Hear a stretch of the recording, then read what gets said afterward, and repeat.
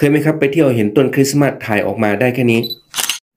ไม่ได้หมดทั้งต้นนะครับ เพราะเลนเราไม่กว้าง ไม่ผิดนะครับ แต่อยากให้ลองวิธีนี้ไปที่อื่นๆ แล้วก็ไปที่พาโนรามาจากนั้นให้จัดองค์ประกอบภาพนะครับ ให้รูปที่เราอยากได้นั้น ให้อยู่ในกรอบสีขาวนี้นะครับ เสร็จแล้วกดถ่าย แล้วก็แพนกล้องจากข้างล่างขึ้นข้างบนไปจนสุดต้นไม้เลยนะครับ กดสต็อป